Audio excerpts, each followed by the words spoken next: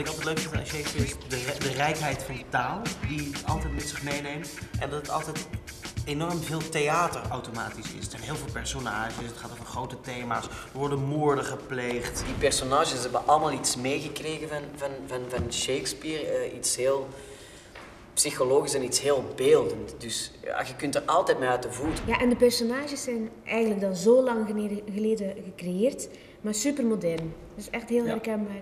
En deed mij ook denken aan eh, die politieke serie Borgen bijvoorbeeld. Die complotten, die situaties, die politiek. Ja, en het is ook gewoon heel fijn modern vertaald. Dus Ja. het is, eh, als je het spreekt, heb je niet het idee, oh, ze spreken oude verzen uit of Nee. oude zinnen, helemaal niet. Het gaat eigenlijk gewoon over een, een, een politieke moord die gepleegd wordt. En het zou ook gewoon nu kunnen gebeuren. Ik hoop ook dat mensen dat, dat we dat ook kunnen vertellen, dat ze het gaan herkennen. Dat ze gaan, ah ja, maar dat gebeurt eigenlijk nu ook. Dat zou heel mooi zijn, als we die spiegel kunnen voorhouden.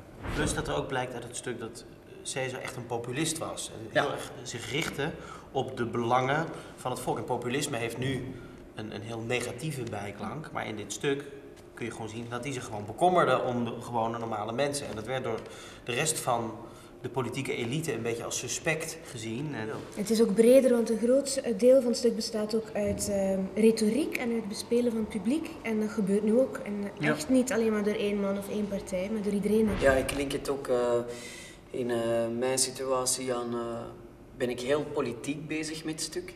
Omdat ik, ik ben van Antwerpen afkomstig en daar is, een, een- daar is de N-VA aan de macht. Eh, dat is een, eh, een rechtse partij en daar is, komen ook de, de vragen bij de burgers komen ook op van wat kunnen we er tegen doen als we, als we niet akkoord zijn of zo? Hebben we eigenlijk nog een stem als het volk of is de politiek volledig in macht en kunnen die gewoon maar zeggen van dit zal het worden en dat zal het, en, en, en dat zal het zijn?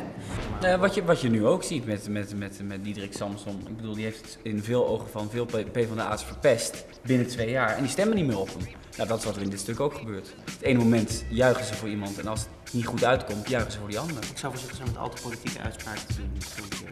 Hoe zou je het dan En we hebben een, een, een enorm veel trommelaars op het toneel. Ja. 24 trommelaars, toch? Die Met vind jij elkaar. leuk? Een hele drumband. superleuk, ja. Een hele drumband. Dat is toch geweldig, met super veel muziek. En Xander drumt ook echt fantastisch. Wij moeten ook drummen, dus we hebben dus, we hebben dus enorme drumlessen. En dan sta ik met mijn papier zo. Ja, en nu moet ik.